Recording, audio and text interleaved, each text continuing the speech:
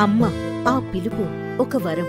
అనుబంధాలకు ఆధారం. ఇటువంటి భాగ్యాన్నందించే అత్యుత్తమమైన fertility hospital forty nine forty nine అంటే సంతానం ఫార్టీ నైన్ అంటే సంతోషం. ఆంధ్రప్రదేశ్ తెలంగాణ. అమెరికా పర్యటనలో ఉన్న రేవంత్ రెడ్డి చేసిన విద్యుత్ ప్రకటన అనేది దుమారం రేపుతున్న పరిస్థితి. అయితే దాని మీద నిన్న మంత్రులు ప్రెస్ మీట్ పెట్టి కూడా చెప్పడం జరిగింది. ఇది పూర్తిగా ఆ, అవగాహన రాహిత్యంగా మాట్లాడడం ఇవాళ బారాస ఏదైతే ఉచిత విద్యుత్ ఇస్తుందో దాని పట్ల మాట్లాడడం అనేది కరెక్ట్ కాదు అని చెప్పేసి అని వ్యాఖ్యలు విన్ అంటున్నారు. ఇక్కడ మన జిల్లా అధ్యక్షుడు హన్మకొండ జిల్లా అధ్యక్షుడు నాయన రాజేందర్ రెడ్డి గారు చెప్పండి వాళ్ళ బారాస మాట్లాడుతున్న తీరు నిన్న ఇద్దరు కూడా ప్రెస్ మీట్ పెట్టడం జరిగింది. దాన్ని ఎలా చూస్తున్నారు? ఇక దొంగలే దొంగ దొంగ అంటుంటే ఏం జవాబు చెప్తాం దానికి? దొంగలే దొంగ దొంగ అనబట్టే. ఒక ఎమ్మెల్యేని పట్టుకున్న సీదా చెప్పిన రేవంత్ రెడ్డి గారు చెప్పారు కదా. సబ్స్టేషన్ల కాడికి పోదాం బుక్ ఓపెన్ చేసి పెట్టుకుందాం ప్రజాదర్బారు పెడదాం ప్రజలు నిర్ణయిస్తారు అక్కడనే. మీరు ఎన్ని గంటలు కరెంట్ ఇస్తారు ఏ ఏ నాణ్యతతో ఇస్తానని తెలిపోతుందని చెప్పారు. ఇంకెందుకు దాని డిస్కషన్ ఏమన్నా రావ దొంగలు కాకపోతే రావచ్చు కదా? అదొకటి. ఇంకో ఎమ్మెల్యే ఇచ్చాడు. భూ కబ్జాదారుల మీద చర్యలు తీసుకునేట్టు దొంగలు ఇవి చూడండి. పొద్దుగా లేస్తే వాళ్ళే సిపిఆర్ ఆఫీస్కి పోతే ఆడ వంద మంది ఉంటే తొంభై మంది వీళ్ళోలేనే వీళ్ళ మీద కంప్లైంట్ వీళ్ళ అన్నని తమ్ముడని బామ్మడుదని వీళ్ళు శిశువులని కబ్జాలు దుకాణాలు ఇదే దుకాణమేనే. ఇక మరి వాళ్ళే మాట్లాడితే దానికి ఇంకెవరేం చేయాలి దానికి? ఇటు క్లియర్గా రేవంత్ రెడ్డి గారు అంత ఓపెన్ చెప్పాను చర్చకు లేకపోతే అది సబ్స్టేషన్ కాడికి పోదాం అంటున్నాడు కదా మరి సబ్స్టేషన్ కాడికి వస్తే అయిపోద్ది కదా. మేము ఇక్కడ ఎక్కడ ఏ గ్రామం కానీ ఏ జిల్లా కానీ ఎక్కడైనా మేము రావడానికి రెడీగా ఉన్నాం. టైం చెప్పండి ఒక మాట చెప్పండి ప్రెస్కి ఇవ్వండి లేదంటే ఫోన్లో చెప్పండి. మేము ఐదు నిమిషాలు ఆడు ఉంటాం. దొంగలు తిరిగి పుస్తకాలు మార్చి లాగ్ బుక్లు మార్చేసి రెండు రోజుల ముందుకే ఇది అది అని చెప్పి రాసుకుంటా పోతుంటే ఇక్కడ కర్మ కోమిరెడ్డి వెంకరెడ్డి గారు పోయిండ్రు. చూస్తే ఏమైంది? ఎనిమిది గంటలు లేదు నాణ్యత కరెంటు.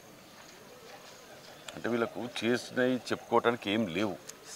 ఏదో ఒకటి రచ్చ చేయాలి. రెండు రూపాయల ద్వారా కరెంటు నాలుగు రూపాయలు కొని ఇవాళ ఐదు లక్షల కోట్లు అప్పు చేసి కూర్చున్నాడు ఇవాళ పోనీ ఎక్కడన్నా పోనీ ఈ కరెంట్ మ్యానుఫ్యాక్చరింగ్ ఎక్కడ యూనిట్ ఎక్కడన్నా పెట్టిండా? మా అప్పుడు మేము పెట్టినాం. ఇవాళ భూపాలపల్లిలో చేసిన రాజశేఖర్ రెడ్డి గారు పెట్టినది కానీ ఇంకెక్కడ కానీ ప్రొడ్యూస్ చేసి వాటిని మేము సరఫరా చేస్తానికి ప్రయత్నం చేస్తాం కానీ వీళ్ళ తీరుగా ప్రతిదీ కొనుక్కొచ్చు ఐదు లక్షల కోట్లు అయినాయి కదా అందులో ఒక లక్ష కోట్లు పెడితే ఎన్ని యూనిట్లు వచ్చు? అంటే దీనికి వీళ్ళకి రెండు రూపాయలకే దొరుకుతుంది కరెంటు వాస్తవానికి. దాన్ని మూడు రూపాయలు నాలుగు రూపాయలు మీటర్ వేయటమే. రోజు ఇన్ని మీటర్లు అని వస్తాయి కదా. ఇప్పుడు అక్కడ ఏది లిక్కర్ కేసుల గిట్ట తీసుకున్నట్టు అంటే అన్ని దీంట్లో వెళ్ళి పెట్టడమే అలా పర్సంటేజ్ల కోసము రాష్ట్రాన్ని సర్వనాశనం చేసింది ఇవాళ. ఇవాళ చూస్తున్నాం. అంటే నిజానికి కూడా ఎనిమిది గంటలకు కరెంటు కరెక్ట్ నాణ్యమైన కరెంటు ఇవ్వట్లేరు అంటారా ఎక్కడ ఇస్తున్నారు చెప్పండి? ఇక్కడ సిటీది కాదు నేను చెప్పే రైతుల దాని గురించి. రేవంత్ రెడ్డి గారు మొన్న అన్నది కూడా ఏంటిదంటే వాళ్ళు అడి మీడియా వాళ్ళు అడిగిన ప్రశ్నకు జవాబు చెప్పింది అతను ఏమన్నాడంటే మూడు ఎకరాలు గల వాళ్ళు తొంభై నుంచి తొంభై శాతం ఉంటారు. ఎక్కువ శాతం యాభై ఎకరాలు వంద ఎకరాలు రెండు వందల ఎకరాలు ఉన్న వాళ్ళు ఉంటారు కదా. దాని మీద ఇది అంత అవసరం లేకుంటున్నది. ఎనిమిది నాణ్యత కనుక కరెక్ట్ కనుక ఎయిట్ అవర్స్ ఇస్తే సరిపోతుంది కరెంట్ అక్కడ రైతులకు. అది ఇవ్వకుండా ఎప్పుడు అప్పుడు అర్ధ గంట అప్పుడు అర్ధ గంట ఇస్తే నిండటగా ఆరిపోవటం. నీళ్ళు రావటం ఆరిపోవటం నీళ్ళు రావటం ఆరిపోవటం. ఇదే జరుగుతుంది కదా. దాంతో దాన్ని ఇది కాకుండా చూడాలి అని చెప్పడానికి చెప్పినారు. దానికి గుమ్మాడిగల్లో అంటే బుధాలు చదువుకున్నట్టు ఓ ఓ అని చెప్పి ఉచిత అసలు ఉచిత కరెంట్ ఇచ్చిందవరా? రాజశేఖర్ గారు ఫైల్ మీద మొదటి సంతకం పెట్టినారు దానికి అవగాహన లేకుండా ఏదో ఇష్టం వచ్చినట్టు రచ్చ చేయాలని చూస్తే ఏముంటుంది అందులో ఇవాళ అంటే వాళ్ళు ఒక కార్యాచరణ తీసుకున్నారు. దీన్ని బేస్ చేసుకొని పబ్లిక్లో ఆందోళన కార్యక్రమాలు నిర్వహించేందుకోసం ఒక కార్యాచరణ. మనకి ఏం పని లేదు. చెప్పుకోవడానికి ఏం లేవు. అందుకే చెప్తున్నా కదా. ఓ బురద చల్లాలి బూడిద చల్లాలంటే ఈ కార్యక్రమం తీసుకోవాలి. నేను స్టార్టింగ్ ఫస్ట్ పాయింట్ చెప్పిన దొంగే దొంగ దొంగ అని చెప్పుకోవటానికని. నువ్వు వేసిపోయిన ఇక్కడ శంకుస్థాపనలో జవాబు చెప్పాడుతాను దాన్ని వదిలిపెట్టి ఓకే నువ్వు అన్నదాన్ని చర్చించుకున్నాం కూర్చుందాం. ఓ రంగంలో నువ్వు ఇచ్చిన వాగ్దానాలకు శంకుస్థాపనలకు ఈ తొమ్మిదిన్నర ఏళ్ళు వాళ్ళతో టైఅప్ అయ్యండి కలిసి సంసారం చేసి నువ్వు వాళ్ళ సెంట్రల్ నుంచి కొట్టుకొచ్చి తీసుకొచ్చిన ఏంటియో జవాబు చెప్పు. అవేమని చెప్పకుండా ఏదో ఉత్తగానే ఏవో కరెంట్ గురించి అన్నారు అని చెప్పి దాన్ని వచ్చి దాన్ని తెలియకుండా మాట్లాడితే అందరూ ప్రజలు నమ్ముతారనుక. మిమ్మల్ని నమ్మే పరిస్థితులు లేరు ప్రజలు ఇవాళ మీరు పోయి చూడండి ఎక్కడికి పోయి ఎక్కడ అడిగినా. పది మందిని అడగండి ఒక్కరిద్దరు తప్ప అది కూడా పార్టీకి సింపతి ఉన్నలో అటు ఇటు తప్ప ఎవరు చెప్పే పరిస్థితులు కూడా లేరు ఇవాళ వాళ్ళకి అర్థమైపోయింది. అందుకే ఇట్లా అడిగి పట్టుకొని తిరగటం. ఇవాళ మీరు అన్నారు ఇవాళ తప్పులన్నీ చూస్తే సిపి ఆఫీసులు అన్నీ వాళ్ళే ఉన్నాయన్నారు. అంటే ఏంటి ఏ విషయాల మీద అన్నారు? ఇప్పుడు పోలీస్ కమిషన్ ఆఫీస్లో దర్బార్ పెట్టింది సిపి గారు. స్టార్టింగ్లో పెట్టినారు నడుస్తున్నది కూడా అప్పుడప్పుడు నడుస్తున్నది. అంటే బాధితులు వచ్చినప్పుడు భూ కబ్జాల మీద ఇవాళ పేపర్ కటింగ్ వచ్చింది కదా. దాని మీద నేను దృష్టి పెట్టుకొని చెప్పేది ఏంటంటే వంద మంది ఉంటే ఎమ్మెల్యేల బాధ్యులు తొంభై మంది ఉన్నారు ఆడ ఈ దుకాణం ఏదో ఈయన పెట్టిండు మా మీద ఉత్తరం వ్యతిరేకత వస్తుందని ఎమ్మెల్యేలు మీదకి వెళ్ళి ప్రెజర్ పెట్టించి ఆ దుకాణాన్ని ఎత్తించిన ఏది దర్బాన్ని తీసేయించిండు. అంటే దాన్ని ఇండైరెక్ట్గా ప్రెజర్ పెట్టే వరకు సిపిఆర్ ఏం చేస్తారు? గవర్నమెంట్ ఉద్యోగాలు వాళ్ళు. వాళ్ళు కూడా ప్రెజర్ కొంచెం తట్టుకోలేక మీదకి వచ్చిన ప్రెజర్ సీఎం ఫోన్ చేసి చెప్పిన కేటీఆర్ ఫోన్ చేసి చెప్పిన ఏం చేస్తాడు? దాన్ని తగ్గించడం తగ్గించిన దాన్ని బట్టి ప్రజలు అర్థం అనేది టాక్ ఇది. ఎవరు కూడా దానికి ఇదివరకు మంచిగా ఉండే అందరితో సమస్యలు పరిష్కారం అనేవి ఇది ఉండే అని అంటారు. వీళ్ళందరూ కలిసి ఎమ్మెల్యే కలిసి త్వరలోనే ట్రాన్స్ఫర్ చేయడానికి కూడా వీరు వెనకాడకుండా పుల్లలు పెడుతుంటారు. ఆల్రెడీ పెడతారు. ఇదివరకు చూస్తాం కదా కార్పొరేషన్కు నెలల ధరపడి కమిషనర్ లేకుండా నడిపిన ఘనత వీళ్ళది. ఎస్ ఇట్లాంటివి ఉన్నాయి? ఓకే ఇవాళ మీ పార్టీ విషయానికి వస్తే ఈ వర్గపోర్ అనేది ఎలా చూడాలి? అది తీవ్రంగా కనిపిస్తుంది. ముఖ్యంగా మీ హన్మకొండ జిల్లాలో ఈ వర్గపోర్ అనేది అయితే తీవ్ర స్థాయిలో చూస్తున్నారు. దాన్ని ఎలా చూస్తున్నారు? దాన్ని ఎలా మరి అధిష్టానం దృష్టికి తీసుకెళ్ళి దాన్ని- మహాభారతంలో కాడికి వెళ్ళి వర్గ పౌరులు అన్ని రాజకీయాలల్లో ఇవన్నీ కొత్తగా వచ్చినవి ఏం కాదు ఇవి. అభిప్రాయ భేదాలు ఉంటాయి వాటి మీద వర్గ పోరు అనుకొని దాని మీద మనం ఏమి ఇది అనుకోవాల్సిన అవసరం లేదు. ఇలా కొత్తగా వచ్చినాయి ఏమైనా చెప్పి ఏ పార్టీలో లేవు? టీఆర్ఎస్లో లేవా? బీజేపీలో లేవా? వీళ్ళందరూ మనుషులు నాలుగు ఛానల్ కొనుక్కొని పెట్టుకొని ఉన్నారు కాబట్టి కాంగ్రెస్ గింత అంత తుమ్మినా ఏ చేసినా గర్ర ఇర్ర ఇంత రోజుగా ఫ్లాష్ అని చూపిస్తారు. మరి కాంగ్రెస్ పార్టీకి మాకు ఛానల్ లేవే? మరి మాట్లాడిన మాటలు వీళ్ళు మాట్లాడిన మాటలు బీజేపీలో కానీ టీఆర్ఎస్లో కానీ ఇవాళ ఇప్పుడు మా పట్టం మహేందర్ రెడ్డి కెప్టెన్ వాళ్ళ ఇద్దరు లొల్లి అవుతుంది అది అని అవపడతలేదు అది ఎక్కడో ఒక చూపించేస్తారు అదే మాది ఇంత జరిగింది అనుకోండి ఇంత పెద్ద చూపిస్తుంటుంది. అంటే వాస్తవానికి కూడా ఇప్పుడు మీరు నియోజకవర్గంలో కార్యక్రమం చేస్తుంటే మీతో కలిసి రావాల్సిన వాళ్ళు అలా రాకుండా అంటే మీరు ఈ జిల్లా ఇన్ఛార్జిగా ఉన్నారు అంటే మీ డైరెక్షన్స్ మీద నడవాల్సిన అవ- అవసరం ఉంటుంది. కానీ కాకుండా మీకు తెలియకుండానే మీ మీద వ్యతిరేకిస్తూ మీకు వ్యతిరేకంగా మాట్లాడుతూ చేస్తున్న కార్యక్రమాలు అనేవి మీ కాంగ్రెస్ కార్యకర్తల్లో ప్రాబ్లం సమస్య అనేది ఉత్పన్నమవుతుంది కదా? ప్రజలు తెలివిగల్లోళ్ళండి. ఇదివరకు తిరిగా కాదు. ఇప్పుడు కోవిడ్ సమయంలో ఎక్కడ పోయినరు? మేము కోవిడ్ సమయంలో మూడు సార్లు వచ్చింది నాకు కోవిడ్. అయినా కానీ ప్రతిరోజు వాడలలో తిరిగినాం. వరదలు వచ్చినాయి. వరదలు వచ్చినప్పుడు తాళ్ళు కట్టుకొని బిర్యానీ ప్యాకెట్లు పట్టుకొని ఇళ్ళ మీద ఉంటే తిరిగి మేము చేసి వచ్చినాం. ఇది సీజన్ ఇప్పుడు. సీతాఫలం దసరా వచ్చింది సీతాఫలం ఎట్లా వస్తాయో ఇప్పుడు పొలిటీషియన్స్ అందరు వస్తుంటారు.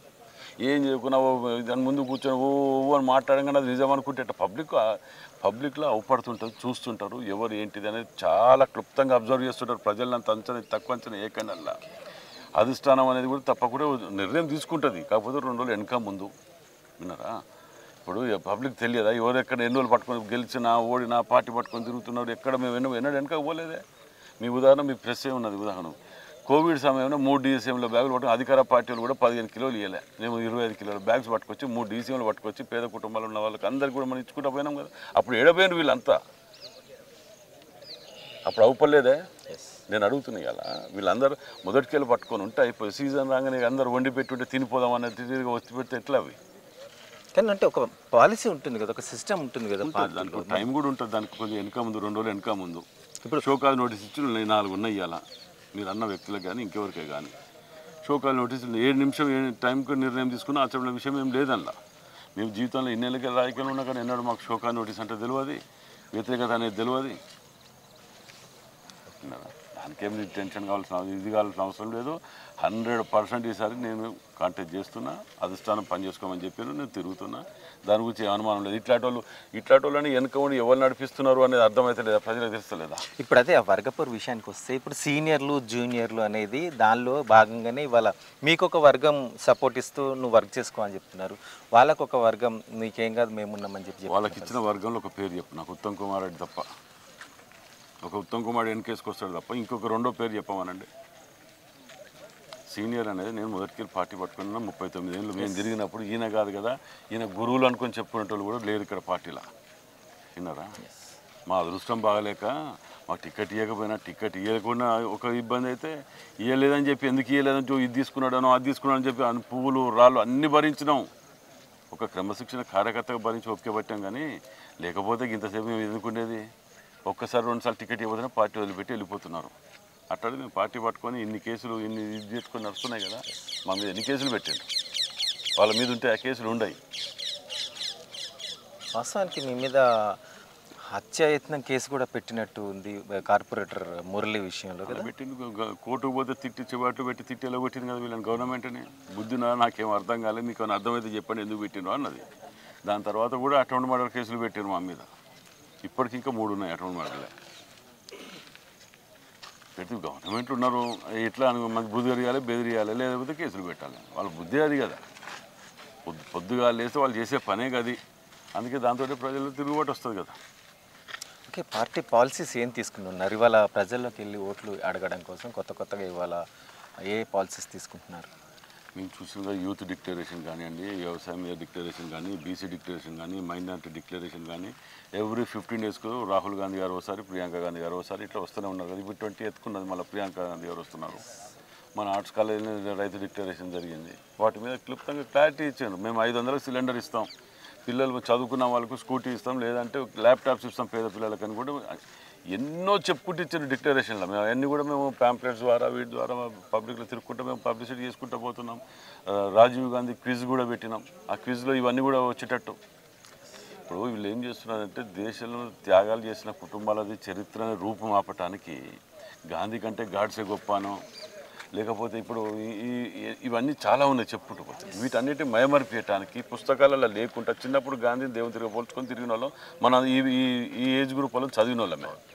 కానీ వాళ్ళనే వాళ్ళే ఇలా దేశానికి ఏదో చేసిండ్రు ఉల్టా చేసినని సోషల్ మీడియా ద్వారా మౌత్ పబ్లిసిటీ చేసి ప్రజల్లోకి దుష్ప్రచారం చేసుకుంటూ పోవాలని ఒక దురుద్దేశంతో సోషల్ మీడియా నమ్ముకున్నారు.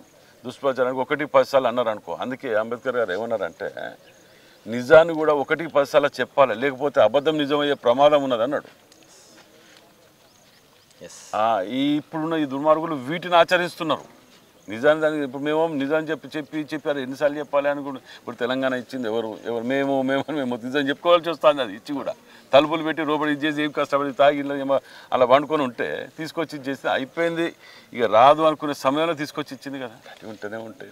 ఓకే కానీ మీ స్ట్రాటజీస్ చూస్తుంటే ఇవాళ రాష్ట్ర బడ్జెట్ మీద ప్రభావం పడేలాగుంది. ఇవాళ వాళ్ళు ఇస్తున్న రెండు వేలు పింఛన్ మీరు నాలుగు వేలు ఇస్తాం అనడం ఇవాళ ఐదు వందల రూపాయలకు గ్యాస్ అనడం ఇవాళ స్కూటీలు ఇవన్నీ పంచడాలు ఎక్కడి నుండి వస్తాయి అసలు డబ్బు? ఇప్పటికీ లాభాల్లో ఉన్న బడ్జెట్ అనేది ఇవాళ లోటుపాట్లకు వెళ్ళిపోయింది. పుట్టపై కొడుకు బిడ్డకు కూడా లక్ష రూపాయల అప్పు ఉంది అనేది వాళ్ళ గణాంకాలు చెప్తున్న పరిస్థితి. అంటే మనం ఏదైనా గతంలో కాంగ్రెస్ పార్టీ హామీలో చేసినవి చూడండి. ఫీజు రియంబర్మెంట్ కానీ ఆరోగ్యశ్రీ కానివ్వండి గతంలో రేషన్ షాప్లో పదకొండు రకాల సరుకులు ఇచ్చినాం. సిలిండర్ కానీ నాలుగైదు వందలకే ఇచ్చినాం. రెవెన్యూ జనరేట్ చేయాలి వాటి మీద మనం ఖర్చు పెట్టుకోవాలి. వీళ్ళది ఎంతసేపు ఇంతమంది చెప్పినట్టు సబ్ స్టేషన్లో మీద కరెంట్ ప్రొడ్యూస్ చేయకుండా కొనుక్కొని రెండు రూపాయలు నాలుగు రూపాయలు కొనుక్కొని వస్తే లో బడ్జెట్కి వెళ్ళిపోతుంది.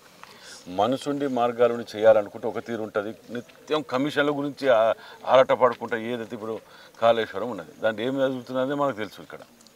అట్లాంటి వాటి వల్ల ఏంటంటే వీళ్ళు ఎంతసేపు కమిషన్లు వచ్చే వాటి మీద ఎక్కువ కాన్సన్ట్రేట్ చేసి ముక్కుబడిగా పని చేయాలనుకుంటే నష్టపోతుంది రాష్ట్రం ఎక్కడ కానీ ఏ రాష్ట్రమైనా ఏ దేశమైనా. సరే తింట తింటే తిన్నావు కానీ మినిమం చేయాలనే ఆలోచన కూడా లేకుండా పోతుంటే ఏముంటుంది అందులో? ఇప్పుడు రా చిన్న మీకు ఇంకోటి ఎగ్జాంపుల్ చెప్తాండి. గతంలో ఈ ఊర్లో పది పెన్షన్లు ఇచ్చేది పది ఇండ్లు ఇచ్చేది. సర్పంచ్ మన ఎంపీటీసీ ఉంటాడు. ఒకరు చచ్చిపోతే ఇంకొకరికి వస్తుందని ఆ ఊరంతా వీళ్ళిద్దరు ఎంబటే ఉండేది.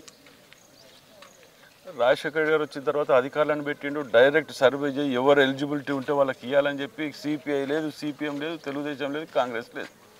ఎవరు ఎలిజిబిలిటీ ఉంటే వాళ్ళని తీసుకురండి ఇచ్చేస్తామని చెప్పి క్లియర్గా డైరెక్ట్ ఇచ్చేసిండు.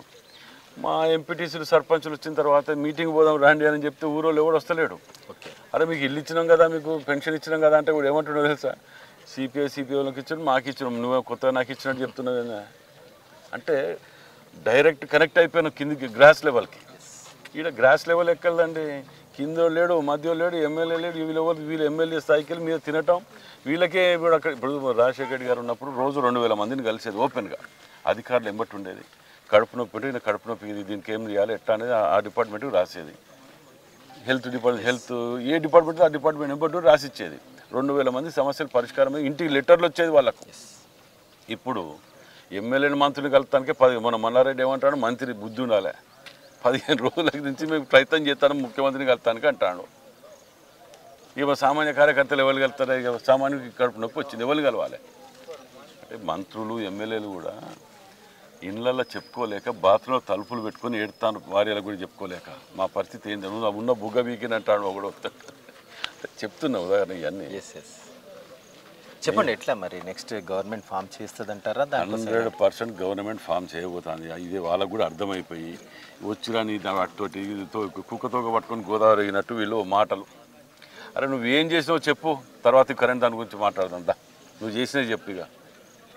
తాగుదాం తిందాం గొర్రె కోసుకుందాం మీ ప్రెస్ వాళ్ళకి ఇండ్లు ఇస్తామని చెప్పి ఎన్నిసార్లు చెప్పిండు మీకు వచ్చిడా? ఇంట్లో కూర్చొని వైఫై కొట్టవచ్చు అన్నాడా? మీకు ఇల్లు ఇచ్చిండు అయ్యాటి వరకు మేము ఇచ్చిన కాంగ్రెస్ హామీ లేదు తప్ప మళ్ళీ ఇప్పుడు కొత్తగా ఇచ్చిన ఏమైనా ఉంటే చూపి. ఉండదు ఏది చేసేలేదు భగవంతుడు మాత్రం ఒక్క గొంతు ఆ కుటుంబానికి. అబద్ధాన్ని కూడా నిజం చేసి మాట్లాడి చూపించాలంటే వాళ్ళకి వాళ్ళే సాటి. నిజం కూడా సినిమాలకు పోతే వీళ్ళకి వచ్చాడు పైసలు వచ్చేది ఇంకెక్కువనే వచ్చేది. ఇవాళ చూస్తున్నాం ఏదైతే ప్రజల గురించి నిజంగా నిబద్ధత అనేది లేదు కానీ మాయ మాటలతో మిస్మరైజ్ చేయడం మాత్రం జరుగుతుంది. మా కాంగ్రెస్ పార్టీ అలా కాదు చేష్టల్లో చూపిస్తాం. మా కా- కాబట్టి ప్రజలకి ఆ విషయాలు అర్థమవుతున్నాయి. మున్ముందు రాబోయేది ఖచ్చితంగా కాంగ్రెస్ పార్టీనని నాయన రేందర్ రెడ్డి గారు చెప్తున్నారు. కెమెరామెన్ రాజుతో నరేంద్ర ఆర్టీవీ న్యూస్ వరంగల్.